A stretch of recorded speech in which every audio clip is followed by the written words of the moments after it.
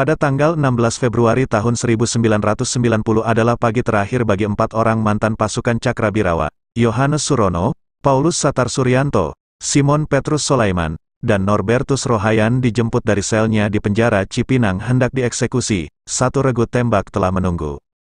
Dalam catatan Amnesty International Report, keempat tahanan itu hampir semuanya telah lansia ketika dieksekusi. Yohanes Surono berusia 60 tahun, Paulus Satar Suryanto 57 tahun, Simon Petrus Solaiman 60 tahun, dan Norbertus Rohayan 49 tahun.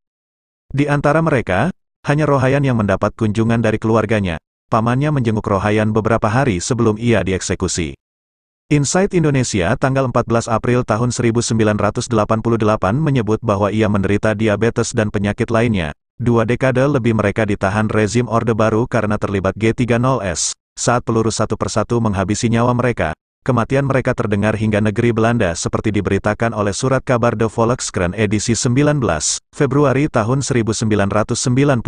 Menurut majalah Tapol nomor 98, bulan April tahun 1990, mereka ditangkap antara tanggal 4 hingga tanggal 8 Oktober tahun 1965. Rohayan berasal dari Angkatan Udara, ia ditangkap pada tanggal 5 Oktober tahun 1965 dan dijatuhi hukuman mati oleh Mahkamah Militer Distrik Bandung pada tanggal 8 November tahun 1969. Ia sempat mengajukan banding, namun pada Februari tahun 1987 bandingnya ditolak. Lalu pada tanggal 5 Desember tahun 1989 ia mengajukan gerasi, dan lagi-lagi ditolak. Pada malam tanggal 1 Oktober tahun 1965, Rohayan adalah penembak Mayor Jenderal Raden Suprapto. Sehari sebelum penangkapan Norbertus Rohayan, Satar Suryanto lebih dulu dicokok, seperti terdapat dalam gerakan tanggal 30 September di hadapan Mahmilep di Jakarta Perkara Untung. Satar adalah sersan mayor ia menjabat sebagai Komandan Peleton 2 Kompi C Batalion 2 Kawal Kehormatan Cakrabirawa yang tinggal di Asrama Tanah Abang. Saat menjadi saksi dalam perkara untung pada 1966, Usianya sekitar 34 tahun dan masih beragama Islam. Satar memimpin penculikan Mayor Jenderal Suwondo Parman dan dijatuhi hukuman mati pada tanggal 29 April tahun 1971 oleh Mahkamah Militer Distrik Jakarta. Permohonan bandingnya ditolak, dan sebelum dieksekusi ia memakai nama Paulus Satar Suryanto. Sebagaimana kawannya, Yohanes Surono pun sempat menjadi saksi dalam perkara untung. Saat itu usianya 36 tahun dan beragama Islam dengan nama Surono Hadiwijono. Lelaki kelahiran Pucung Sawit Solo, adalah Komandan Peleton 3 Kompi C Batalion Untung di Cakrabirawa.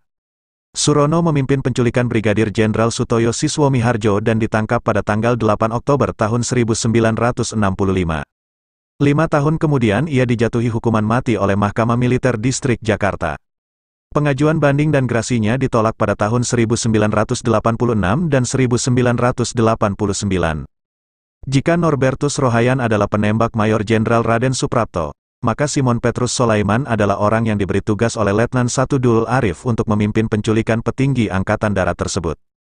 Menurut sumber, Solaiman kelahiran Cepu, Blora, Jawa Tengah, pada 1927.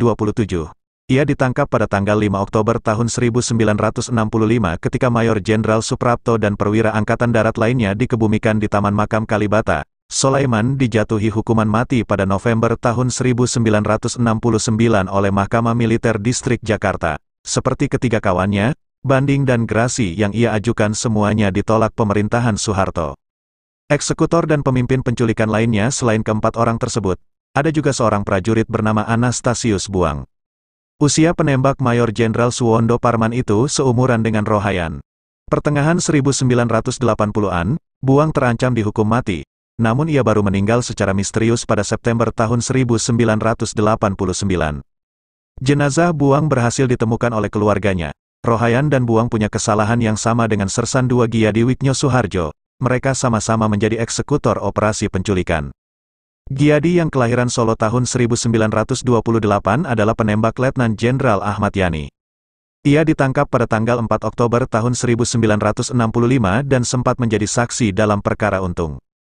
Menurut Insight Indonesia nomor 14, bulan April tahun 1988, Giadi dijatuhi hukuman mati pada tanggal 16 April tahun 1968 oleh Mahkamah Militer Distrik Jakarta bersama Sersan Mayor Soekarjo yang memimpin penculikan Brigadir Donald Izakus Panjaitan. Giadi dieksekusi mati pada Oktober tahun 1988.